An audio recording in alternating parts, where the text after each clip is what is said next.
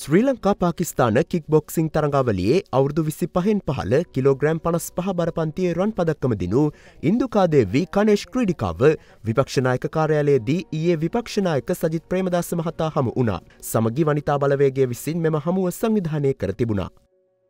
අපේ රටේ ශක්තිය අපේ රටේ කොඳුනාරටිය රටේ තාරුණ්‍යය. ජනගහනයෙන් සියට විසි පහක් පමණ සිටින අප රටේ තාරුණ්‍ය නොයෙකුත් අවස්ථාවන් වලදී රටට ගෞරවයක් කීර්තියක් ලබා දෙන්නට කටයුතු කර තිබෙනවා.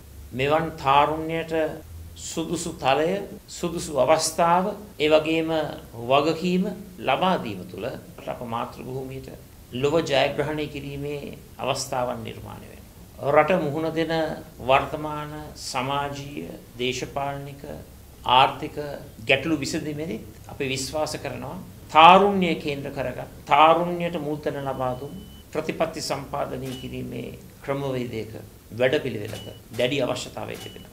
ක්‍රීඩාව පමණක් නොවේ රටට සේවය කිරීමේදීත් තාරුණ්‍යයට මුල්තැන ලබා දීම යුගයේ අවශ්‍යතාවය වෙලා තිබෙනවා. සමගී ජනබලවේගයේ අපි සූදානම් තාරුණ්‍යයට ඒ සුදුසු තැන ලබා දෙන්න. ඒ වගේම මේ රටේ බහුතරය නියෝජනය කරන පාර්ශ්වය හැටියට කාන්තා ශේෂ්ත්‍රයට රටේ උන්නතිය තකා දැවැන්ත කාර්යභාරයක් කිරීමේ අවස්ථාව අපි ලබා දෙන්නට ඕන.